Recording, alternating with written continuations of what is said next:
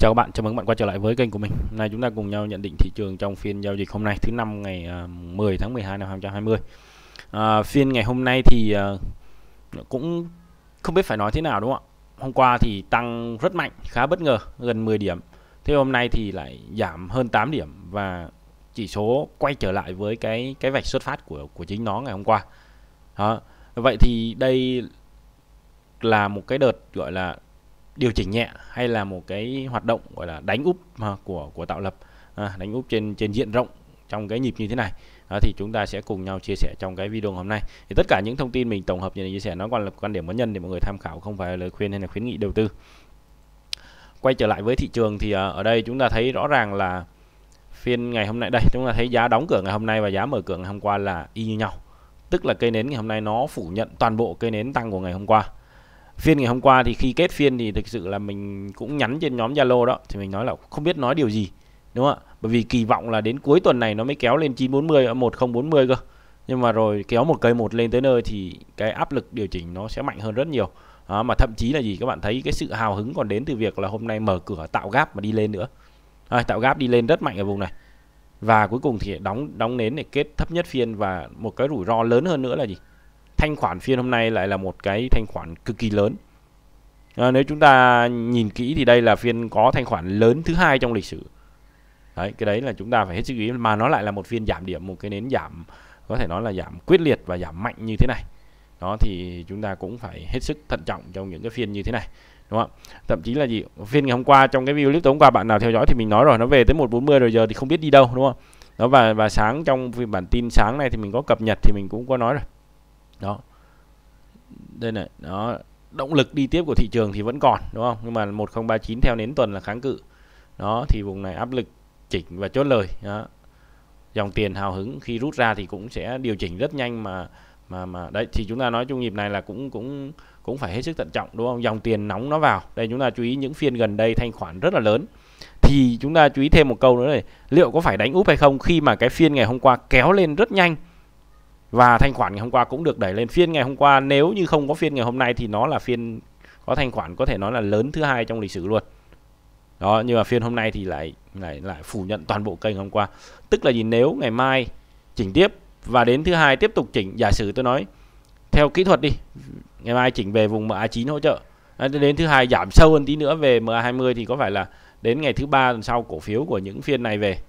Đúng không? Đến ngày thứ hai cổ phiếu của những phiên này về thì kẹt rất là nặng và nếu mà sử dụng đòn bẩy thì chúng ta sẽ bị thua lỗ rất là nhiều trong những cây như thế này.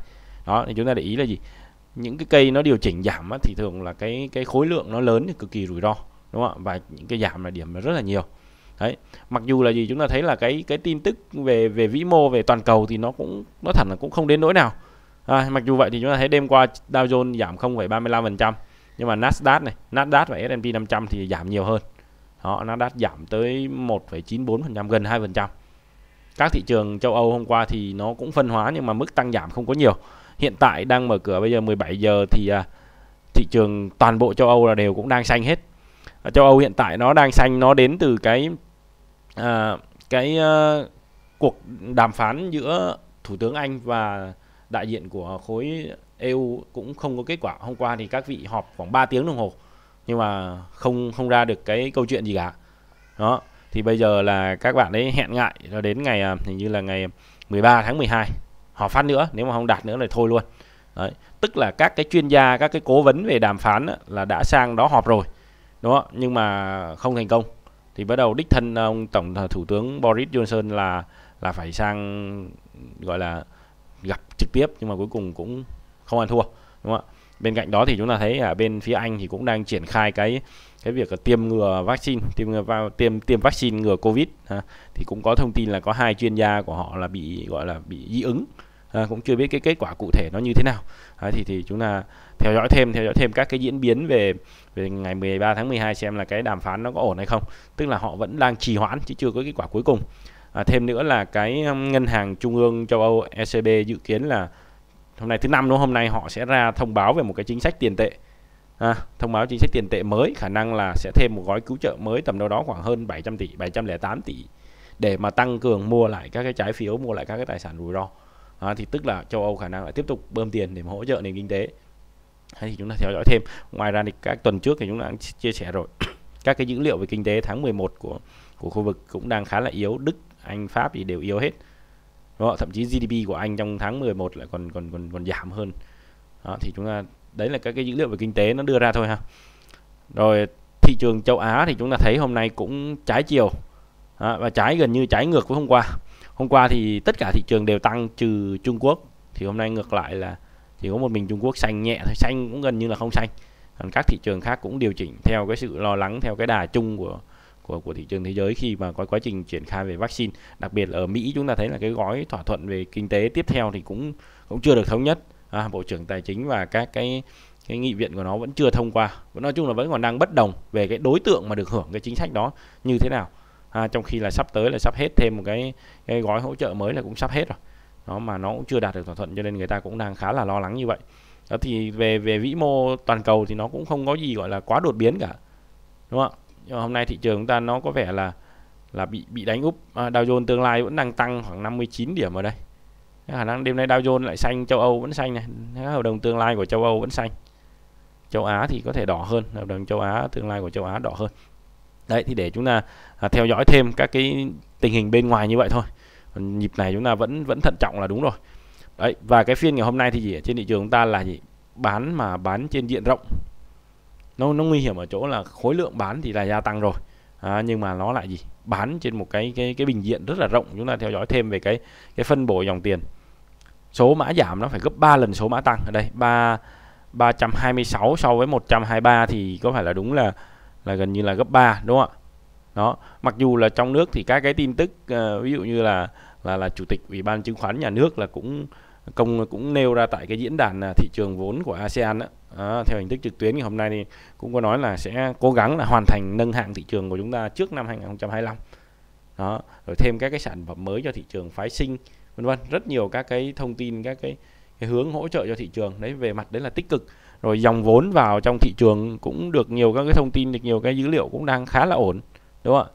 À, tuy nhiên thì chính cái sự hào hứng quá mức của nhà đầu tư đôi lúc là nó cũng là một cái bẫy à, nó là chúng ta giống như là chúng ta bị bị quên đi chúng ta bị chủ quan đúng không ạ? Mấy phiên ngày hôm nay thì mình cũng cũng nhắc rồi. À, cái nhịp này là khả năng điều chỉnh khá là cao nhưng mà đúng là phiên hôm qua thì nó kéo thốc quá.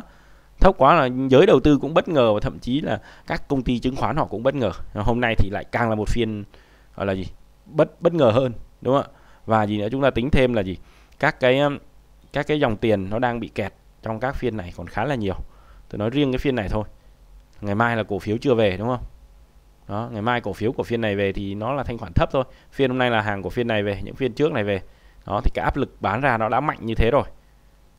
Đó, vậy thì cái ngưỡng tiếp theo là gì?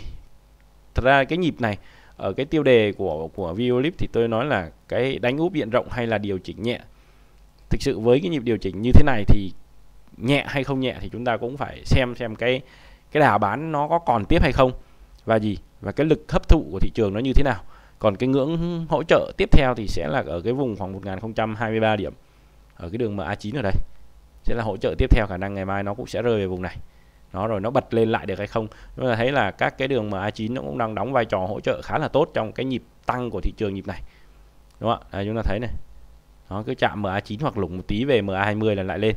Đó, với lại cái nhịp này tôi nói rồi, thị trường, tôi đã nói rất nhiều trong các clip các bạn để ý, là thị trường tăng quá thốc mà chưa có những nhịp điều chỉnh cần thiết đúng không? Độ tăng này cũng là đếm cái độ dốc của nó khá là lớn. Đó, hôm qua clip hôm qua tôi cũng nói về cái độ dốc của nhịp này. Và gì nữa? MA20 nó đang ở quá xa. Đúng không? thì nó có thể là cần phải có những cái nhịp điều chỉnh thậm chí là điều chỉnh về MA9 đây. Tích lũy rồi đi lên nữa thì có thể là lên thậm chí là lên đến 1100 được.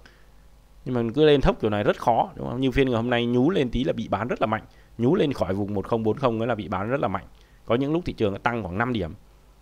Mà sau đó lại điều chỉnh trở lại. Đấy, chúng ta thấy là cái áp lực bán. Lát nữa thì tôi sẽ mở cho các bạn xem thêm ở trên cái cái bình diện lớn hơn đúng không ạ? Cái bình diện à, bình diện à, gì là chi tiết trong phiên ngày hôm nay chúng ta sẽ thấy. Còn tính về cái giá trị giao dịch của phiên ngày hôm nay thì chúng ta thấy khá là lớn. À, thì à, hôm nay phiên ngày hôm nay là nó giao dịch khoảng à, để chúng ta xem. Trên này nó có thống kê khối lượng giao dịch. Đây 13.353 tỷ. À, giá trị giao dịch. 13.353 tỷ. Cái phiên hôm nay thì nó chỉ thấp hơn cái phiên uh, phiên lịch sử à, phiên lịch sử ngày 25 tháng 1 năm 2018 phiên đó là nó 13.725 tỷ. Đấy. thì nếu chúng ta tính về về về về giá trị là thì đây là phiên có thanh khoản lớn thứ hai trong lịch sử mà nó lại là một phiên giảm. Như vậy là khá là rủi ro đúng không? Và nếu chúng ta cộng hai ba phiên trước lại thì cái khối lượng cái lượng tiền bị kẹp trong khúc này tức là cái phiên này chưa chạy được phiên ngày mai nếu giảm nữa là cũng không thoát kịp tức là là cổ phiếu chưa về vẫn kẹt T3 T2 gì đó. Thì chúng ta chưa về thì rõ ràng là gì? Thấy nó rủi ro đang rất là lớn đúng không ạ? Rồi gì nếu mà nhưng mà chúng ta thấy là trong một cái bối cảnh chung thì cái gì? Cái thanh khoản của thị trường hiện tại nó đang khá là lớn tức là lượng tiền trong thị trường khá là lớn. Cho nên có thể là gì? Khi điều chỉnh nhúng xuống sâu hơn này cái lượng tiền mới hơn có thể lượng tiền tích cực hơn vào bắt đáy à, và làm cho chỉ số tăng tiếp tăng trở lại. Đó thì thì chúng ta phải phải chờ thêm thôi chờ xem MA9 hỗ trợ được hay không. Lùng MA9 thì về MA20 tiếp. Vùng 1000 MA20 đang nằm ở vùng 1000 thì tôi nghĩ vùng này nó sẽ cứng hơn. Tức là nếu nhịp này nó có điều chỉnh thì về đây nó cũng sẽ, nó cũng sẽ ổn hơn. Đúng không ạ? Đó, còn nếu chúng ta đếm theo sóng, đúng không? Chúng ta đếm theo sóng ở cái nhịp này, để chúng ta thử bỏ hết mấy cái này đi. Chúng ta đếm theo theo sóng. Ở đây chúng ta đếm theo sóng ABC thì coi. Thì nếu các bạn tính trong toàn bộ cái cái vùng này đúng không chúng ta tính uh, nguyên cái nhịp tăng vừa rồi. Thì theo sóng này thì uh, cái biên của nó có vẻ là không cái nhịp tăng thứ sóng D này này thì nó hơi hơi hơi dài so với cái cái cạnh cạnh AB này. Đúng không cạnh CD thì khá là dài. Đó. Vậy thì có chăng là chúng ta thử tính lại nếu nó nó tính cho cái nhịp điều chỉnh là ở đây thì sao? Là nó đã kết thúc cái sóng này thì nó có vẻ là sẽ hợp lý hơn đúng không ạ? Đó chúng ta thấy là cái cạnh lúc này cạnh CD nó cũng sẽ bằng với cạnh AB đó, thì thì cái cái biên và cái cái sóng cái hình của nó nó cái đồ thị của nó sẽ sẽ ổn hơn và sẽ đẹp hơn. Đây chúng ta thấy tính theo đếm theo sóng kiểu này. Đó, các bạn vẽ các bạn vẽ nhanh nhác thôi. Đúng không ạ? Đó, thì các bạn đếm thử các cạnh. Đấy nếu nếu tính là như thế này. Còn nếu chúng ta đánh theo sóng sóng năm ha sóng sóng đẩy Elliott thì các bạn có thể hình dung là chắc chắn thị trường sẽ cần một nhịp điều chỉnh lớn hơn. Ví dụ giả sử như chúng ta coi đây là kết thúc vậy thì cái sóng điều chỉnh sóng 4 này thì nó lại quá ngắn đúng không ạ? Đây. Thì nó cũng coi như vùng này là vùng kết thúc của của sóng 5 đúng không ạ? Đấy mình thì, thì thật sự với các bạn là mình ít sử dụng sóng kiểu như thế này. Mình ít đo bằng sóng ha, mình đánh thuần kỹ thuật thì cũng ít về sóng đó thì nếu nếu tính là cái cái cái sóng gọi là ABCD này thì đây nó cũng là cái nhịp sóng cuối mà mà cái cạnh này nó cái cái mô hình mẫu hình nó có thể bị bị gọi là không chuẩn. À, mẫu hình nó có thể bị fail bị sai ở khúc này. Thì theo mình nên tới đây là chỉnh rồi đây thì là là hợp lý này. Đây là kết thúc của, của con sóng này. À, nếu theo mẫu hình này. Còn nếu tính theo sóng đẩy thì chúng ta thấy là giả sử cũng tính như thế này. Nếu tới đây chúng ta gọi tới đây là kết thúc thì tới đây nó cũng đang là kết thúc một cái một cái sóng, đúng không? Và nó điều chỉnh. Đó. Nhưng thì nó cũng, mô hình, mẫu hình nó cũng bị sai do cái sóng 3 sóng 4 này, sóng chỉnh này quá ngắn. Giả sử cái sóng chỉnh này nó chỉnh thẳng về tới đây, thì có vẻ nó sẽ hợp lý hơn, đúng không nó sẽ hợp lý hơn là trong trong cái sóng này. Đó. Còn trong trường hợp mà chúng ta tính lại, nguyên cái nhịp này nó vẫn là cái cái sóng sóng 3 vậy thì thị trường cũng cần một cái nhịp điều chỉnh nữa của sóng 4 ít nhất là về tới đây. Rồi nó đi lên đó, đâu đó tầm một nghìn mấy này. Đó, nếu chúng ta đếm theo sóng này nó có thể lên vùng 1100 gì đó. Đó. Thì nó cũng đây nó cũng là cái chen hỗ trợ này. Đó thì thì tức là các bạn ừ, tính kiểu gì kiểu đúng không? Cái vùng này nó gần như là một cái vùng gặp áp lực điều chỉnh khá là lớn. Cái quan trọng bây giờ là chúng ta kỳ vọng là nó chỉnh tới đâu. Đó, và chúng ta sẽ tham gia khi nào. Đó, còn các cái vị thế hiện tại chúng ta đang nắm thì nó nó diễn ra như thế nào nó nó phải xử lý như thế nào trong cái cái trường hợp như thế này nữa thôi đó thì thì đấy nếu là chúng ta đo theo sóng là tôi nói thẳng là không phải là dân chuyên mà không phải là dân gọi là thuần về đánh sóng tôi không không không thích lắm. Đó. rồi thì à, vậy thì cái cái xu hướng tiếp theo của thị trường ha thì đây chúng ta cũng phải tính toán. Đặc biệt là gì? Cái cái phiên ngày hôm nay là để để mình mở lại một lần nữa cho các bạn xem về cái các bạn xem nhìn cái view ngắn hơn cái đồ thị ngắn hơn của phiên ngày hôm nay các bạn sẽ thấy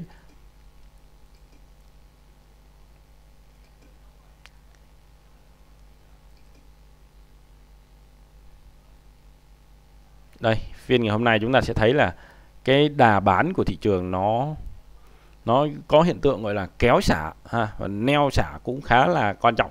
Chúng ta nhìn trong rổ VN30 ngày hôm nay thì uh, ngoài uh, Vinamilk là tăng tăng mạnh ngay từ đầu rồi. Vinamilk Vietcombank cả phiên ngày hôm nay không có thấy có nhúng xuống đỏ ngay từ đầu thôi.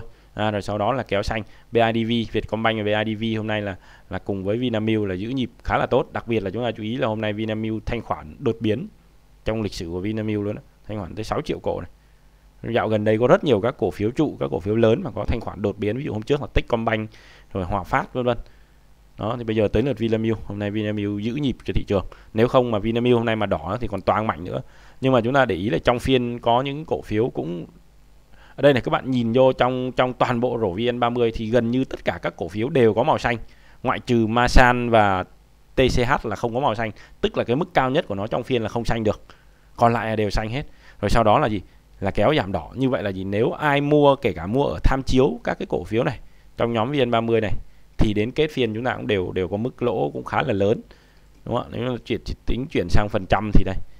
Đó các cổ phiếu cũng bị mất mất mạnh nhất là SBT mất gần 3 phần trăm này. Hòa Phát mất 2,34 phần trăm nếu chúng ta mua với giá tham chiếu đúng không mua quanh tham chiếu thôi cũng mất hơn 2 phần trăm một phẩy mấy hai phần trăm. Trong phiên mất ngay trong phiên luôn đấy tức là cái cái cái, cái áp lực điều chỉnh khá là lớn. Và gì chúng ta thấy ví dụ đầu phiên là chỉ số kéo lên. À, sau đó có những khúc trùng xuống khoảng khúc 10 giờ. Đó. Thì trùng xuống nhau này sau đó một cái lực kéo lên rất mạnh nữa. Đó, cho tạo đỉnh ngay tại vùng này khoảng à, khoảng lúc gần 11 giờ. Và sau đó lại kết thúc phiên sáng đạp cho đến đến lúc nghỉ trưa luôn. Ở đây chúng ta thấy đạp đến lúc nghỉ trưa là tại vùng này. Đó sau đó mở phiên chiều thì nhúng xuống tiếp. Và nhúng như đây xong có một lực kéo lên à, kéo lên đạp tiếp và lại kéo lên lần thứ hai. Nhưng kéo lên lần thứ hai đến lúc khoảng 2 giờ là không kéo nổi nữa rồi. À, nhiều bạn nhắn bảo anh ấy kéo hoài mà nó không lên. Đó nhưng mà các bạn nếu các bạn theo dõi sát sao các cái diễn biến các bạn nhìn vào cái đồ thị này, này đồ thị chi tiết này thì các bạn thấy này. Những cái vùng kéo lên thanh khoản cực yếu. Đó, nếu bạn nào trong nhóm Zalo mình có nhắn trên nhóm hai lần là gì? Thị trường đang tăng nhưng mà thanh khoản không có tức là tiền không vào. Tức là tiền ở cái cầu mua không có. Mà gì? Khi bán ra thì các bạn thấy cái vôn cái cái, các cái cột khối lượng này này, các bạn thấy này. Đúng không ạ? Đó, các bạn mở nó cái kỹ ra nó đây này. Các bạn thấy nguyên cái lúc lúc giảm này là thanh khoản đạt cực đại, đúng không và đặc biệt là trong phiên ATC thì cái thanh khoản nó còn lớn hơn nữa, và đặc biệt là cuối phiên nữa này. Đó, còn những cái cái nhịp kéo lên như thế này, đây các bạn thấy kéo khi mà thị trường nó nó tạo đỉnh phiên ngày hôm nay đi. Chúng ta nhìn thanh khoản có khá là thấp, thậm chí thấp hơn cái cái cái trung bình 20 phút luôn. Đó, theo theo cái nến này. Nó thì các bạn thấy rõ ràng, đúng không? Thì là cái áp lực bán nó cực lớn trong trong ngày hôm nay. Bán gần như là bán quyết liệt bán bán bất chấp luôn đấy vậy thì những người mà cổ phiếu chưa về là là là khó rồi đúng không ạ? Đó, thì mình mình mở ra để cho mọi người chúng ta xem thêm ở cái góc độ đó nữa thôi. Để chúng ta hình dung cái cái cái rõ ràng hơn về cái cái thị trường trong những cái nhịp như thế này. Tức là áp lực bán hiện tại đang khá lớn cái đấy là một cái chúng ta cũng cần phải phải tính toán. Vậy thì cái ngưỡng hỗ trợ này hỗ trợ được hay không thì chúng ta lại phải chờ ngày mai thôi không không ai có thể đoán biết được thị trường. Chúng ta chỉ nương theo thị trường thôi. Đúng không? Mấy hôm nay thì mình cũng dặn rất kỹ rồi, không được sử dụng margin trong những cái nhịp như thế này. Vì thị trường nó lên đây chúng ta, nếu các bạn tính đo toàn bộ cái nhịp hồi phục này, thì chúng ta thấy rõ ràng cái nhịp này là cái độ tăng của nó thấp hơn. Những những phiên chỉnh của nó đang rất là ít và những nhịp chỉnh chúng ta để ý là những nhịp chỉnh này nó cũng chỉ có khoảng 4 phiên thôi, sau đó lại kéo lại. Đúng không? Nhịp chỉnh này cũng vậy này, hai, bốn phiên. Tất cả những nhịp chỉnh tức là cái cái độ tích lũy của thị trường, cái thị trường đang đi rất là là nhanh chứ không có độ tích lũy mấy. Cho nên là cái rủi ro mà nó rơi rơi nhanh, thậm chí tôi nói khả năng mà rơi gãy MA20 vẫn có rồi các bạn giống như cái cái cái chen nãy chúng ta chúng ta tính á, chúng ta vẽ đây. Đúng không khả năng gãy MA20 và thậm chí nó về về luôn cái vùng đây. Nó điều chỉnh từ giờ đến có thể là cuối tháng. Đó. và chúng ta để ý là gì? Những cây rơi thì thường nó rơi rất là nhanh. Tất cả những cái phiên đây điều chỉnh thì chúng ta thấy là cái mức chỉnh nó rơi rất là nhanh sau đó lại kéo lên. Do dòng tiền lúc này chúng ta phải phụ thuộc vào dòng tiền thôi. Hai cái nhịp này hỗ trợ MA50 cũng khá cứng này. Test một lần rồi có thể bây giờ rơi lại test lần hai thì sao? Ngưỡng 975 thôi nhưng mà nói thật là cái kỳ vọng lớn nhất của mình là gì? Về vùng 1000 thôi. MA20 ở đây, hỗ trợ lên. Thứ hai là MA20 chúng ta đang dốc quá. Độ lên thẳng đứng như thế này khá là khó, đúng không? Mình thì mình khoái là thị trường cứ đi từ từ như thế này thôi. MA20 thoải thoải ra một chút xíu à các bạn cứ bám chen các bạn đi từ từ từ từ lên. Kể cả cổ phiếu cũng vậy. Các bạn cứ để ý cổ phiếu nào mà nó tăng dốc quá tăng nhanh quá thì nó cũng sẽ điều chỉnh rất là nhanh mà thậm chí rơi rơi nhanh mà rơi sàn không ai mua luôn ấy. Các bạn phải chú ý như vậy. Còn nó cứ đi từ từ đi chậm chậm thì thì chúng ta sẽ thấy là nó tích tích cực hơn. À, và nó lên nó cũng sẽ bền hơn. Có rất nhiều cổ phiếu trong thị trường là như vậy và chúng ta theo dõi thêm. Nó thì à, với cái phiên ngày hôm nay thì đấy chúng ta cũng có thể nhìn nhận và có thể đánh giá được ở góc độ. Có thể đây là một cái một cái đợt đánh úp chúng có thể đánh úp ngắn thôi đúng không ạ? Và gì? Coi như cũng coi như là một đợt điều chỉnh và kiểm tra lại cái dòng tiền trong thị trường hiện tại. Giống như bài đăng trong telegram mình có nói đúng không? Dòng tiền trong thị trường lúc này là dòng tiền nóng.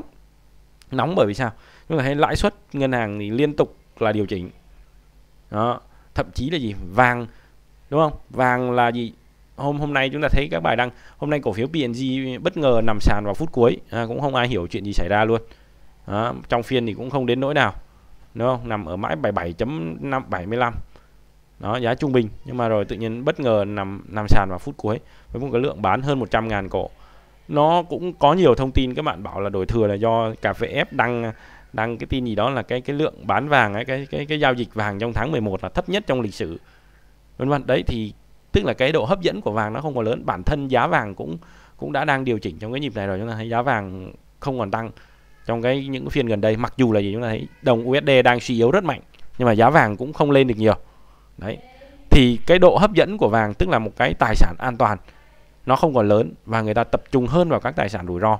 Thậm chí là mấy này chúng ta thấy là gì, có nhiều các bài đăng, nhiều các cái truyền thông nói về việc là đầu tư vào thị trường chứng khoán, thậm chí còn lãi nhiều hơn là là đầu tư vào các kênh đầu tư khác, đặc biệt là trong thị trường này. Và rõ ràng gì trong một cái bối cảnh như thế này, rất nhiều nhà đầu tư mới tham gia những nhịp như thế này thì tôi nói là ví covid ở nhà không biết làm gì, nghe lên lên mạng, nghe người này người kia nói, nghe ai nói. Bạn bè ai cũng tham gia, kể cả sinh viên không đi đâu làm gì ở nhà cũng đầu tư chứng khoán.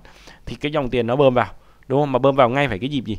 Phải cái nhịp tăng mạnh như thế này, thậm chí tăng rất dốc như thế này thì nên nói nói là gì? Là nhắm mắt mua đại nó vẫn lãi nhé. Mua được là lời. Dẫn đến là chúng ta chủ quan, đúng không? Dẫn đến là cái này là những cái cái rủi ro mà chúng ta phải chấp nhận trong những nhịp như thế này. Đó thì thì dòng tiền hiện tại nó đang là dòng tiền nóng mà tôi nói rồi. Dòng tiền này mà nó rút ra thì thị trường giảm khá là sâu. Đó. đây đây là một cái điển hình của một cây rút ra. Tôi nói giả sử ngày mai ngày mai là một phiên có thể giảm không nhiều như phiên ngày hôm nay chẳng hạn. Về vùng MA9 hỗ trợ đây, nhưng gì? Cái khối lượng mà nó mà tương đương cây này nữa thì cực kỳ là nguy hiểm. Có thể phiên ngày mai chấp nhận giảm điểm mà thanh khoản nó ở phía thấp thôi. Khoảng 8 9 nghìn tỷ thôi thì là có vẻ là ổn hơn, đúng không ạ? Tức là lực bán không lớn nhưng mà cầu mua lại chắc chắn là sợ rồi. Chưa dám bắt đáy vùng này đâu. Cái đấy là cái tâm lý chung thôi. Đó thì một số ý tôi chia sẻ trong cái video ngày hôm nay như vậy thì hy vọng là chúng ta cũng ờ, cứ bình tĩnh thôi. Thị trường nó có giảm điều chỉnh hay là giảm sâu trong những nhịp như thế này. Đó thì chúng ta những cổ phiếu nào chúng ta mua mà nắm dài hạn thì các bạn vẫn tự tin. À, kỳ vọng của mình là tới cuối năm cơ chứ còn chỉnh điều chỉnh một hai phiên thậm chí là chấp nguyên cả cái sóng 4 luôn thì nó cũng về không quá sâu chắc cũng khó thủng 960 được, cho nên chúng ta không sợ là thị trường nó nó về cái cái vùng 780 hay là vùng trước dịch đâu, chúng ta đừng có sợ, đúng không ạ? Kể cả mùa dịch nó như thế này, rơi mạnh như thế này thì đến bây giờ nó cũng đã vượt lại, thậm chí vượt cả đỉnh của hai năm mấy, ba năm nay rồi. Thì chúng ta cũng không có gì gọi là quá lo lắng trong nhịp này. Còn ai, anh chị nào sử dụng đòn bẩy quá mức thì chúng ta canh bán, hạ bớt vài gì xuống, thậm chí hạ vài hay hạ về tiền thôi, nắm giữ bằng tiền thật thôi. Chứ đừng đừng có sử dụng đòn bẩy trong nhịp này. Nó sẽ áp lực rất lớn lên tài khoản của mình đó thì cả tuần này là mình cũng nói là không sử dụng đòn bẩy rồi thì chúng ta canh chúng ta hạ dần dần đi là vừa. Đúng không ạ? Bắt đầu là rủi ro xuất hiện rồi thì chúng ta tính toán. Đó, còn khi nó điều chỉnh ở đây mà nó tích lũy lình xình một vài phiên à, tạo thành những cái nến gì những cái nến dạng lưỡng lự như thế này này. Đó lưỡng lự mà nến ngắn thôi thì chúng ta có thể là tham gia vào lại được. Đúng không? Nó tích lũy tại đây một vài phiên rồi nó đi lên thì nó sẽ bền hơn. Thậm chí là gì? Cái cái xu hướng chính vẫn còn là một nhịp tăng tiếp. Có thể lên tới 1.100 lận nên chúng ta vẫn không chỉ phải lo lắng cả, đúng không ạ? Cứ kiên nhẫn với nó, tự tin với nó, đừng có hoảng loạn và bắn tống, bắn tháo ra. Đôi lúc lại bị hớ, đúng không ạ? Rồi thì một số ý chia sẻ như vậy thôi. Xin chào, hẹn gặp lại các bạn trong những video tiếp theo.